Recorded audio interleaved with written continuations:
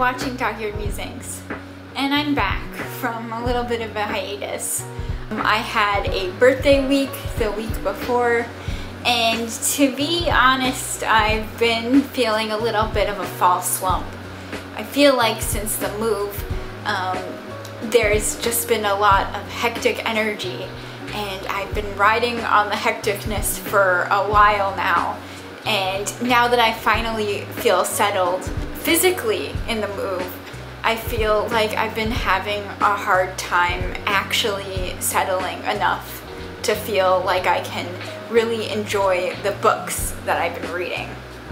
So, to combat that, I've done what anybody would do in this situation and I went to my library and I overwhelmed myself with options to get a fresh start of reading um, as we go into the winter months. So I'm gonna do a little bit of a fresh start haul for the later fall slash winter seasons. So hopefully I can get the end of the year and beginning of the year started on the right track. So the first book that I'm going to talk about is Patrick Ness's A Monster Calls. Now this has been on my TBR for a while. Allie from Allison's Pages has talked about this book as being like kind of a necessary read.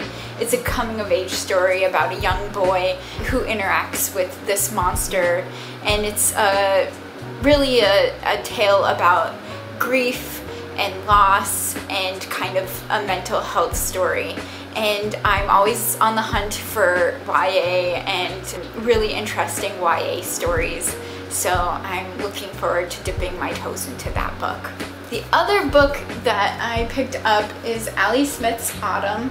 Now this is a part of her seasonal quartet and I already got started in this novel. This is a story that follows a old man and a young girl in the summer. It travels between their lives and is kind of focuses on fall as well as summer.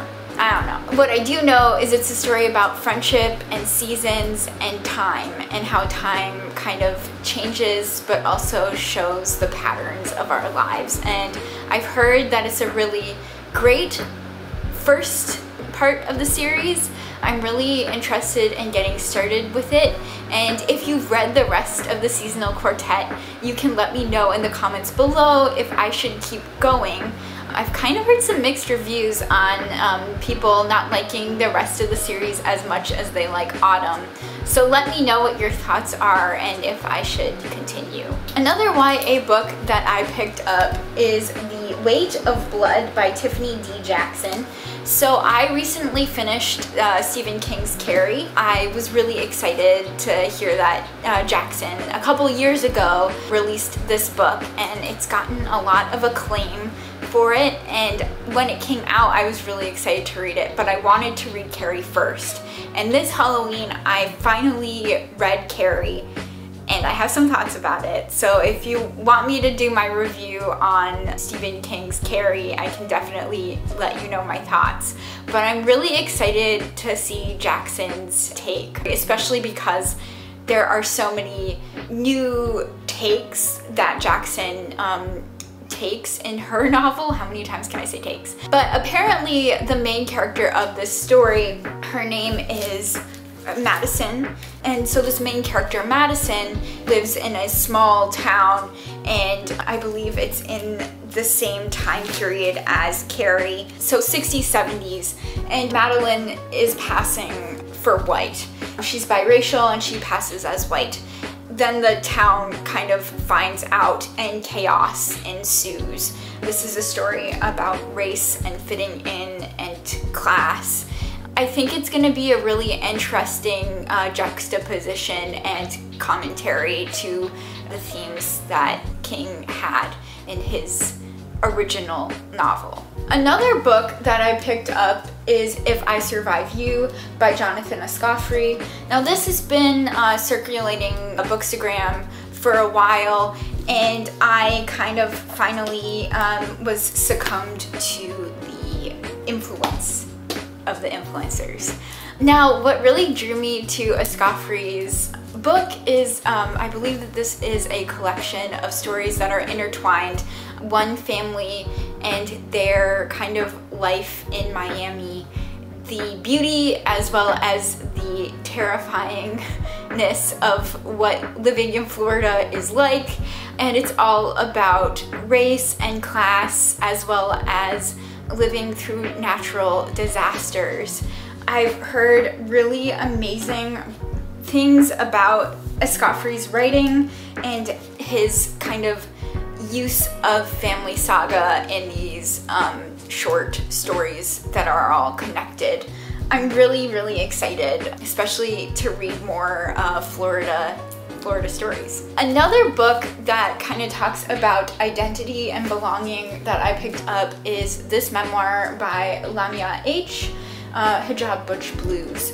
Now this is a coming of age memoir. This focuses on Lamya H's story as a young Muslim girl kind of coming to terms with her identity both in her religion as well as her sexuality as well as her family kind of moving around world. I'm really excited to read this book. I've heard that it's a really intense and also moving memoir and I haven't read a memoir in a while and I'm going on a pretty long car trip this coming weekend uh, for Thanksgiving Day festivities. So I'm gonna try to find the audiobook as well so I can kind of listen along I'm one of those unfortunate people who can't read in the car. I get really car sick. So hopefully I can find the audio version of this book so that I can listen. I love the audio versions of memoirs. Speaking of love, I'm gonna end my haul with Monica Ali's Love Marriage. Now I read her other novel that was uh, shortlisted for the Booker Prize. That was Brick Lane, which came out We'll put the year somewhere over here apparently this focuses on a love marriage. Now, love marriages are different from arranged marriages in that they are, as the name implies, anyway. So this book focuses on a young South Asian family and a young girl as she kind of grapples with her love marriage and arrangement and how her choice in her partner kind of really brushes up against her family's expectations and wishes. I'm really intrigued to see how Ali kind of goes against the typical kind of tropes of this narr narrative and if she does. Um, I haven't heard a lot of reviews on on this book so I'm excited to give it a go and see what my take on it is. Anyway, that has been a little bit of what I have on tap to read uh, in the next couple of weeks. I am not gonna lie, I feel like this past couple of weeks I've kind of been playing catch up with my brain and my reading and I've been really trying to find joy in books again. I feel like ever since I feel, felt settled in my move, there has been kind of a joy in where I am, but not a joy in the reading. And maybe that's because reading for a while has been all about escape, and now that I feel like I don't need to escape where I'm at, it's, it's harder to feel settled in the things that I used to do that brought me joy. Maybe that's, maybe that's too much.